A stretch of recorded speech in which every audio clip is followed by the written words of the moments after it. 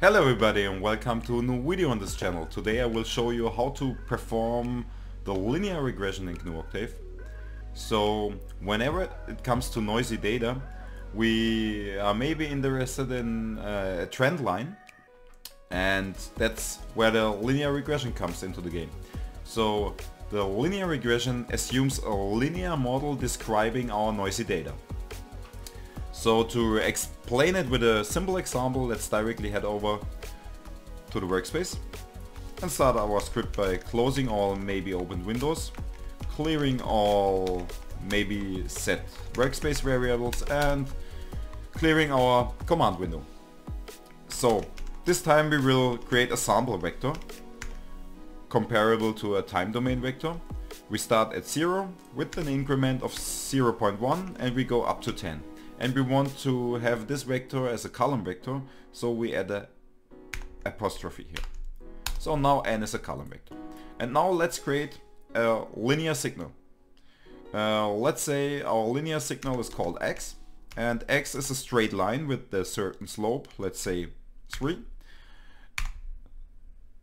times n and uh, y-axis intersection let's say 5 okay now we have created our straight line. Let's plot the straight line just to have a look that it really is a straight line. Uh, we give everything a label here. The axis, let's call the x-axis samples. Let's call the y-axis value, just to indicate that we are here not talking specifically about time domain signals, we are talking about arbitrary signals. So, okay, Let's fire it up. And I will show you the result. So yeah, we have a straight line here. Starting at 5. With the slope of 3. So, okay, that is our, our um, basic signal. And now we will add some noise to that signal. And then we try to to estimate a model fitting these noisy values and in the best case our fitted model is exactly our x signal 3 times n plus 5. So first let's create a noisy signal or, or let's call it x noise. So we have x and we add some arbitrary noise. Let's say 5 times rand, rand n, so generating normal distributed random values um, with the same dimension of x. And we scaled this random values with the value of 5.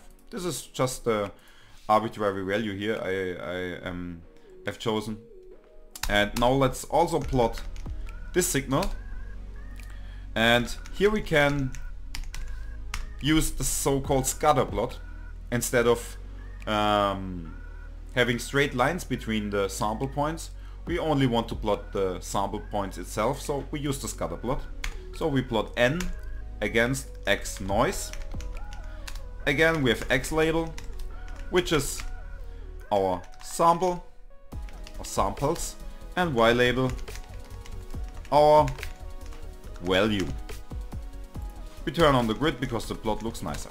So let's fire it up. Okay, here it is. Oh, this is the wrong window. So, here we have our generated noise signal in a scatter plot.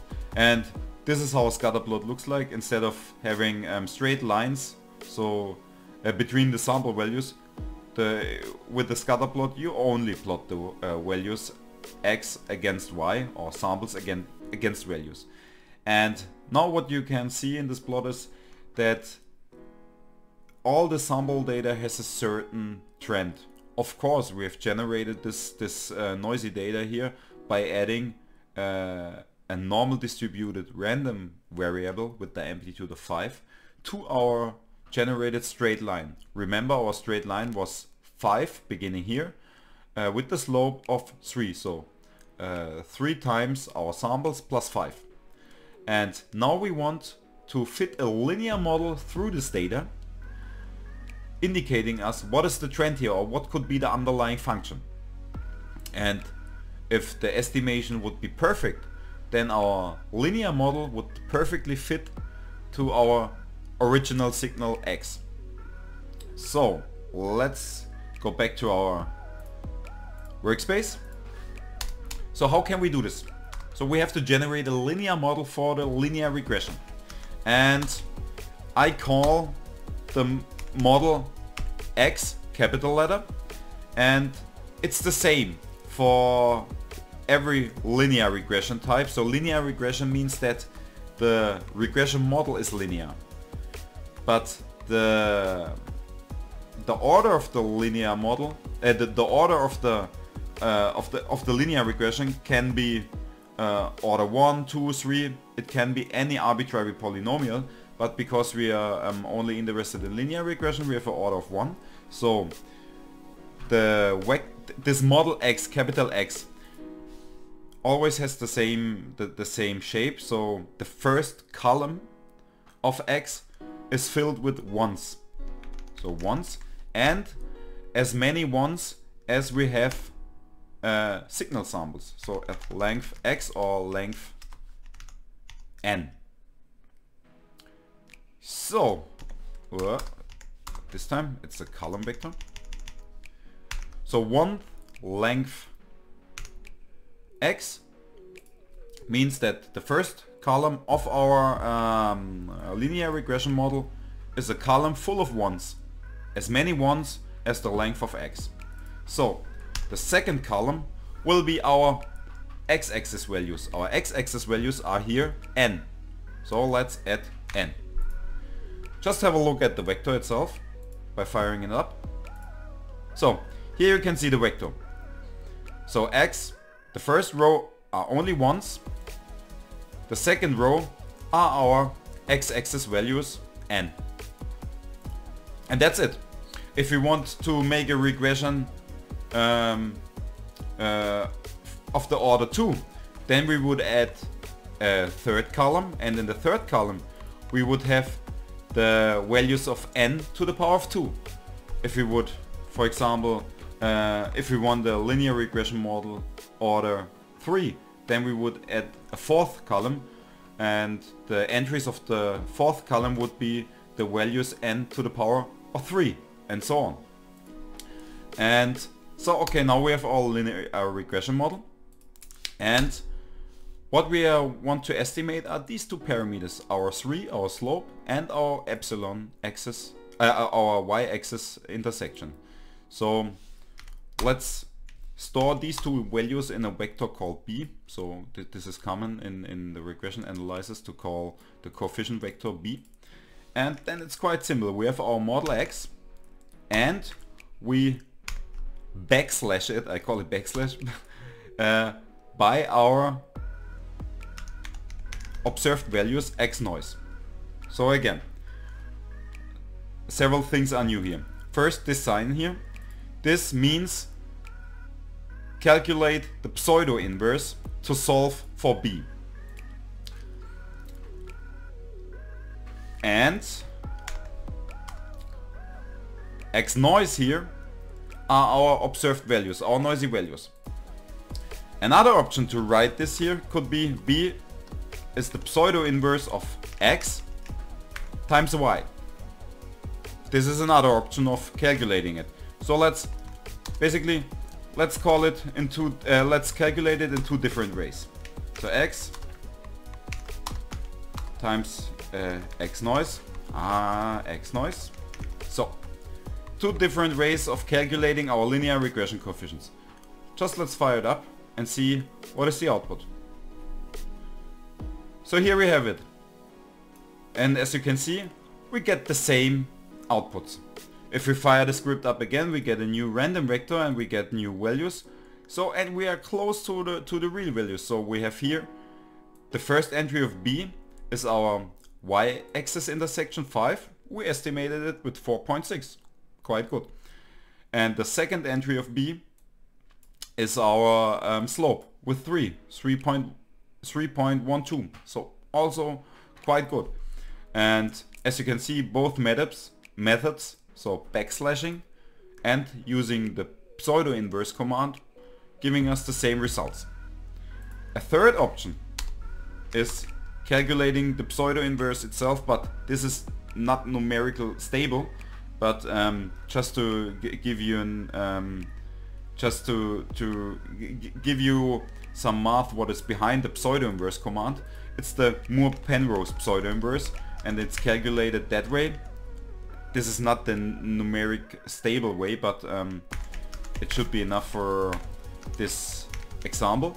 It's x transpose times x, the inverse of the product, times x transpose times our observed vector, x noise, our noisy vector. Let's fire it up again. Oh, uh, we have a failure here. Yeah.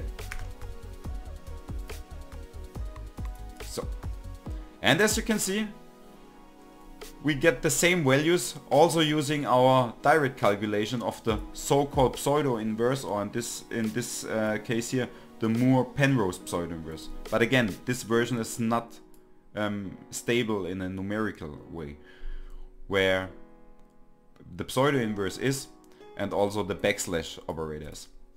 But what's going on behind is calculating the Moore Penrose pseudo inverse. So okay, now we have calculated our our regression coefficients, but now let's have a look if they are really good and how it looks like. So we have here our scatter plot. Again, I will, will show you our scatter plot. So now let's plot our estimated linear signal inside this uh, noisy values here and see how well they fit. How well this estimated uh, um, line fits the data. So, okay. So, let's create a new plot then it's easier for you to follow me.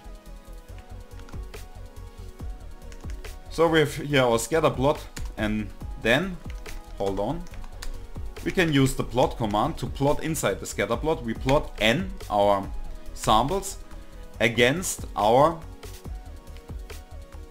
estimated linear model. So, as you can see, the first entry in B is always the y-axis intersection. So the slope is the second entry in B. This is uh, how Octave and also MATLAB um, is, uh, uh, gives you um, polynomials as output. So the highest order coefficient, so the the, the least order coefficient or the coefficient with the lowest order is the first entry and the coefficient uh, corresponding to the highest order is um, the last entry. So we take B2 times n because the second entry in B is our slope plus our y-axis intersection which is the first entry in B. And now let's fire it up and have a look how well we fit our data.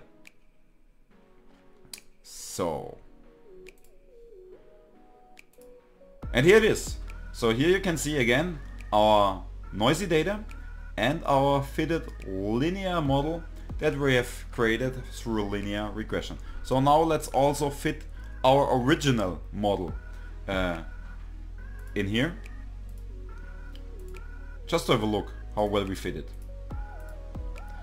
So, so we plot again n against our original signal was x against x. And because we now have three signals in it, so we have the scatter plot with the noisy observed values, we have our uh, values calculated through our regression model, and we have our original data, um, we can add a legend to the plot just to um, uh, know which uh, line belongs to which data. And the legend plot, it's quite easy. You can name the different plots in um, in the order that you've plotted it. So the first plot was scatter plot, the x noise, so it's x noise. The second uh, plot we will name with uh, regression and the third was original. So let's fire it up and let have a, let's have a look. So here it is. So as you can see, again, our blue values are our noisy values, our observed values, our measured values. So then we, just by directly looking at these values, we can see, okay, there's a linear trend in it. so, but how to describe the linear trend?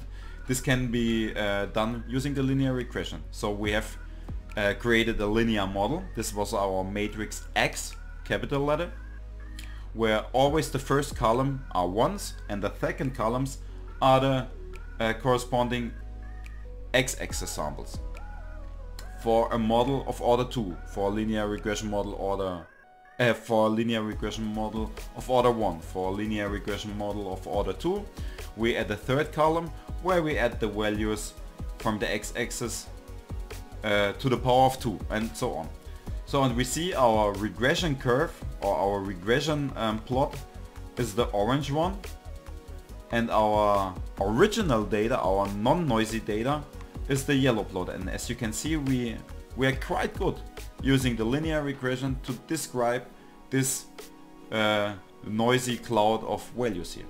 So this is where um, um, what you can do with linear regression. And as I already mentioned, you can also use higher order um, models. For example, if you don't have a, a, a this linear um, trend here, maybe you have a more uh, higher order polynomial trend, then you would add additional columns to your uh, linear model described by the vector x here.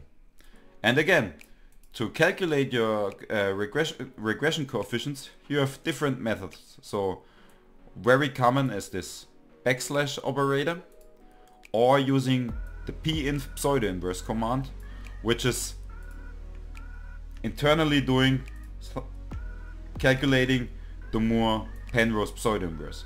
So actually it's not uh, MATLAB and Octave are performing inside the pseudo inverse command they, they're using a singular value decomposition but at the end it's a, a pseudo inverse and the pseudo inverse itself the Moore Penrose pseudo inverse can be calculated um, in this way here.